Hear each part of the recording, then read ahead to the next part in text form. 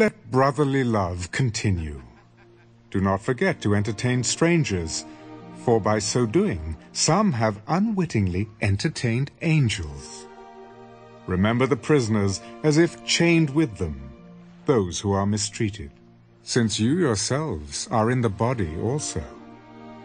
Marriage is honorable among all, and the bed undefiled. But fornicators and adulterers God will judge. Let your conduct be without covetousness. Be content with such things as you have. For he himself has said, I will never leave you nor forsake you. So we may boldly say, The Lord is my helper. I will not fear. What can man do to me?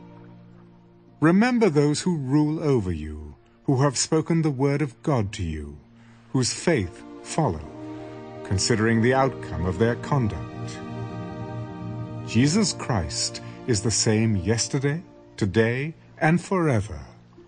Do not be carried about with various and strange doctrines, for it is good that the heart be established by grace, not with foods which have not profited those who have been occupied with them. We have an altar from which those who serve the tabernacle have no right to eat. For the bodies of those animals whose blood is brought into the sanctuary by the high priest for sin are burned outside the camp. Therefore Jesus also, that he might sanctify the people with his own blood, suffered outside the gate. Therefore let us go forth to him outside the camp, bearing his reproach. For here we have no continuing city, but we seek the one to come. Therefore by him let us continually offer the sacrifice of praise to God, that is, the fruit of our lips, giving thanks to his name. But do not forget to do good and to share, for with such sacrifices God is well pleased. Obey those who rule over you, and be submissive, for they watch out for your souls as those who must give account. Let them do so with joy and not with grief, for that will be unprofitable for you. Pray for us, for we are confident that we have a good conscience, in all things desiring to live honorably. But I especially urge you to do this, that I may be restored to you the sooner.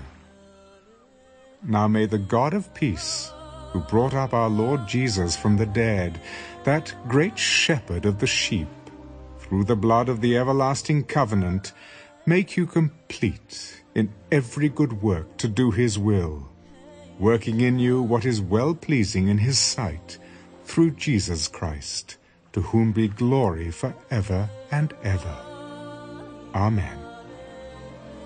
And I appeal to you, brethren, bear with the word of exhortation, for I have written to you in few words. Know that our brother Timothy has been set free, with whom I shall see you if he comes shortly. Greet all those who rule over you, and all the saints. Those from Italy greet you. Grace be with you all. Amen.